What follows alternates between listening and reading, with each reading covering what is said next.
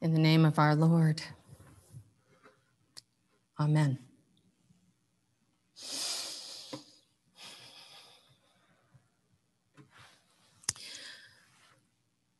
We enjoy a great deal of scripture in Holy Week. We use many words to pray, especially today. And we do so because this is the fundamental, crucial story of Christianity. If we read only a few verses of the Passion, we lose the power of it. If we learn and know only part, we as Christians are incomplete. We don't expect to retain every word, but somewhere in the familiar scriptures and prayers of these Triduum days will be a phrase, a word, even an idea that catches your attention and that rings true in a new way for you you will carry it with you to bed that night, into Easter tide, and hopefully well beyond. We hear it in the context of the full ritual. Today, tomorrow, Easter Day, and last night. Instead of trying to hold fast to every detail, I suggest immersing yourself in the whole of it. Take off your watch, turn off your phone, surrender to it. Let it speak and flow around you. Let the most powerful story ever known enter into you. And then reflect on a truth that has moved you. Amidst all these powerful words, we also inquire of the silences.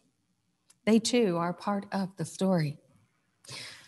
Particularly evocative for me is Jesus' silence in response to Pilate's questioning.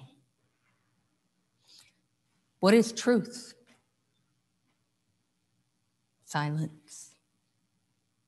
We and they might remember Jesus' words I am the way, the truth, and the life. Will this haunting question be remembered after the resurrection when Jesus tells a dubious Thomas, I am the truth? Pilate tries again. Where did you come from? Silence again. In the heavy hush is his wordless answer, and we know something has changed.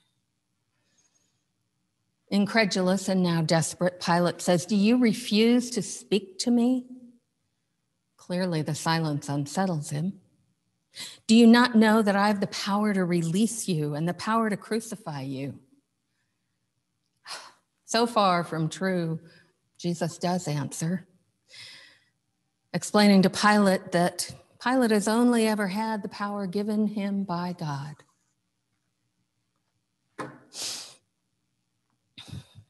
The taunting, flogging, dragging the heavy cross are all things our Lord could have escaped, and yet he didn't try. Isaiah's suffering servant comes to life. We heard it sung beautifully, or we heard it read beautifully by Kelly. He was afflicted, and yet he did not open his mouth, like a lamb led to the slaughter, and like a sheep that before its shearers are silent.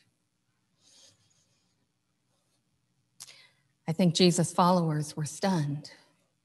I think they were afraid to ask, Where is God in this? And then the psalmist's words we just sung and heard echo back their growing, mounting despair. Oh my God, I cry in the daytime, but you do not answer. By night as well, but I find no rest. And my God, my God, why have you forsaken me and are so far from my cry? Those familiar words ring so deep, you can feel, you can hear your heartbeat as they fade from your ears. With or without words, God has answered eloquently into the silence and gives us pause to listen. On Palm Sunday, I said the moments of truth, that moments of truth reveal Jesus' identity and our own. The crucifixion and the resurrection are the most epic instances of this ever known. Woman, here is your son. To the disciple, here is your mother. In eight words, his tender, loving care is revealed. And we see he too knows the terrible pain of giving up those he loves, of entrusting them to each other ever after. His dearest friends' companionship, the women and men who follow and are present, that inmost understanding they share He's giving up in that moment. John's gospel said this from the very first lines The word was made flesh and dwelt among us.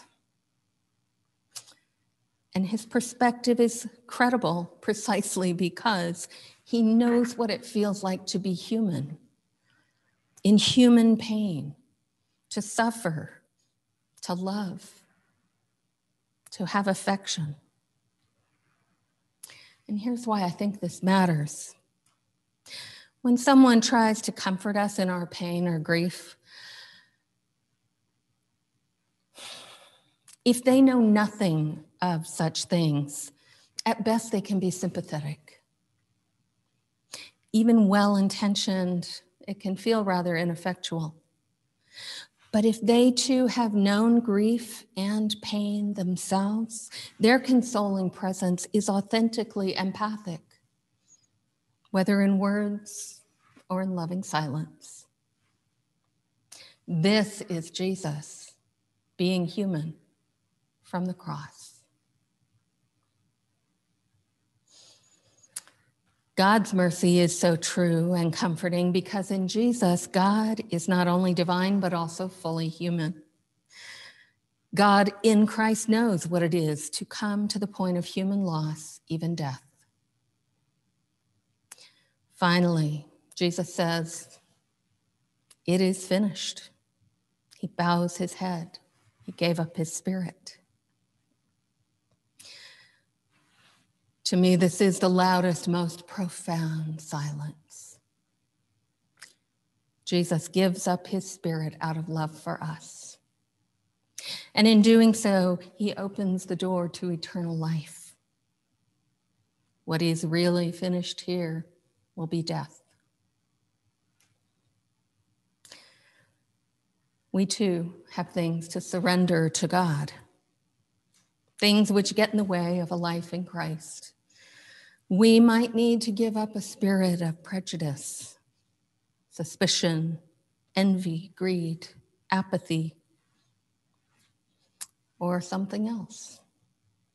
For that gift of new life can only happen when we love and trust God enough to yield and not hold back.